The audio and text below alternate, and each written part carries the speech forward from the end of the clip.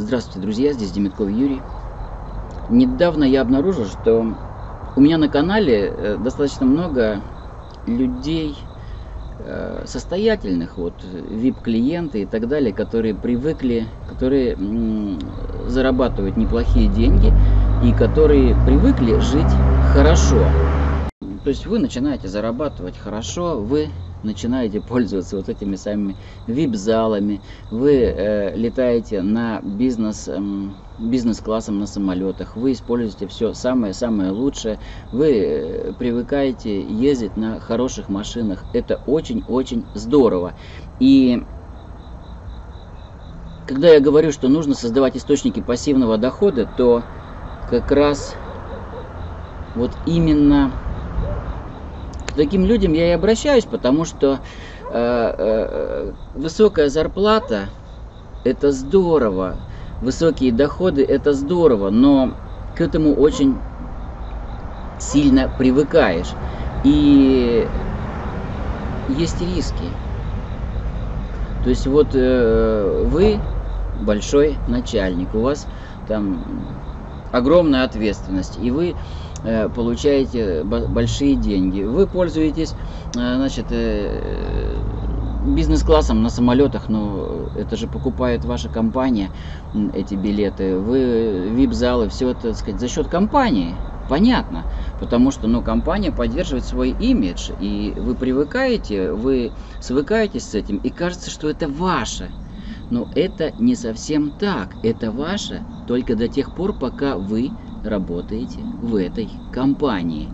А работа в компании сопряжена с рисками, потому что когда вы работаете в компании, вы зависите от кого-то, по-любому, от политической ситуации, в конце концов.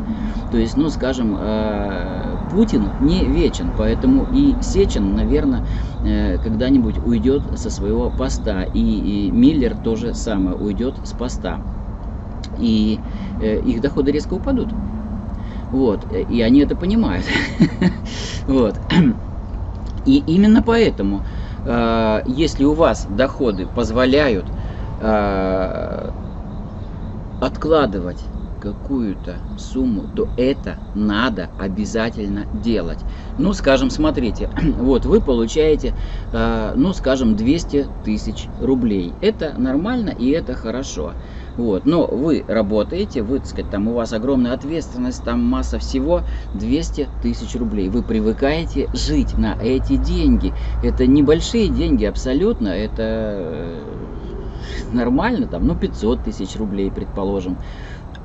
Там, ну, на 500 тысяч уже получше жить можно. Но, э, смотрите, э, как только по каким-то причинам вы уходите из компании. Это может быть там, ну, политика, это может быть смена руководства, это может быть просто болезнь.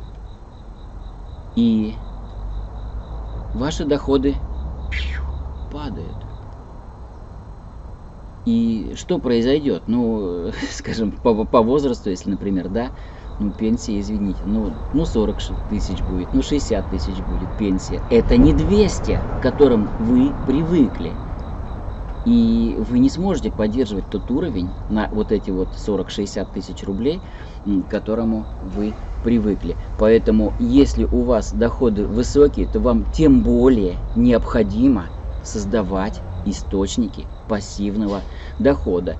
И э, люди это понимают. И э, я вот когда читаю э, про людей, которых там много денег, так сказать, там, ну, сообщения, э, когда судебные всякие органы приходят, там, Э, деньги в коробках находят там у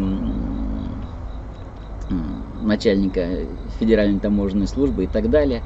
Вот. Но смотрю просто вот как чиновники, э, куда вкладывают деньги, там 5 квартир, 6 квартир. Ну что ты будешь делать с этими квартирами? Сдавать, даже если сдавать, ну 5-6% годовых, ребята, это можно делать лучше интересней и более надежно.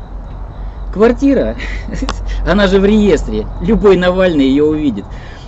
Вот, э, и тут же делает огласку. А брокерский счет, ну, все-таки э, он закрыт. То есть там, ну вот так вот просто, чтобы каждый э, желающий мог зайти в реестр и посмотреть, э, какое количество денег там лежит. Такого не будет. Такого не будет. И э, с брокерским счетом здесь, ну, есть хоть какая-то тайна, так сказать, с недвижимостью точно нет. И недвижимость это не такая выгодная вещь. Вот. Поэтому, ну, брокерский счет это лучше. И есть инструменты. И смотрите, что получается. Если у вас мало денег, то вы можете купить только облигации, там 6-7% годовых. От 70 тысяч рублей уже можно модельный портфель, там риски, да, но там 20-30% годовых получается. Но там риски есть. Но уже от э, там 250 тысяч рублей структурные продукты с защитой капитала. 10 там, процентов, примерно 10-14 процентов годовых дают, но стопроцентная защита капитала. Смотрите, чем больше денег, тем больше надежность и тем больше доходность.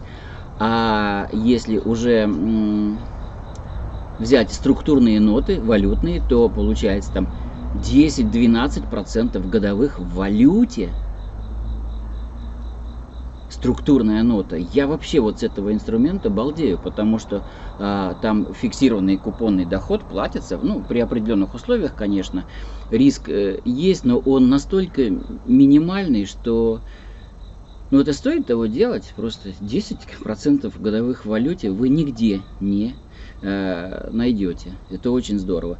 И получается, что чем больше у вас денег, тем больше доход они приносят. Ну, сравните с недвижимостью, там, ну, это вообще никакой ворота не лезет. И здесь на структурной ноте деньги капают нам автоматически. Каждые три месяца просто они поступают на брокерский счет. Нам не надо ходить, не надо у аренда, арендаторов выбивать эти деньги какие-то, если они там какие-то, ну, сказать, у человека нет денег и все. Понимаете, у, у той компании, на акции которой, на активы, которые опираются структурные ноты, но надежность намного выше. Да, эмитент структурной ноты это э, ну, крупнейшие банки, там типа Natixis, потом швейцарский банк, EFG, э, потом Goldman Sachs, слышали, наверное. Коммерцбанк, Германия, крупнейший банк. Ну вот такие вот эмитенты структурных нот. Ну это надежнее, чем просто квартиру сдать в аренду друзья мои. Поэтому, э, если у вас большие доходы, то вам просто необходимо иметь брокерский счет и часть денег вкладывать именно сюда. Вот просто необходимо. Это настоятельная необходимость. Во всем цивилизованном мире люди именно так и делают. Посмотрите, у Трампа трастовые фонды какие-то, деньги вложены в управляющие компании. А, у Обамы, значит, там, ну, была декларация просто, это, так сказать, открытая информация, сколько денег куда вложено. У всех людей достаточно состоятельных в развитых странах открыты всякие различные такие вот программы управляющей компании, которые управляют деньгами. Большие деньги дают большие деньги. И ну, этим надо заниматься. Обязательно. Э, если вас заинтересовало, ну, обращайтесь, я помогу. Э, координаты мои вы сможете найти, э, конфиденциальность будет соблюдена. До встречи, с вами был Демитков Юрий.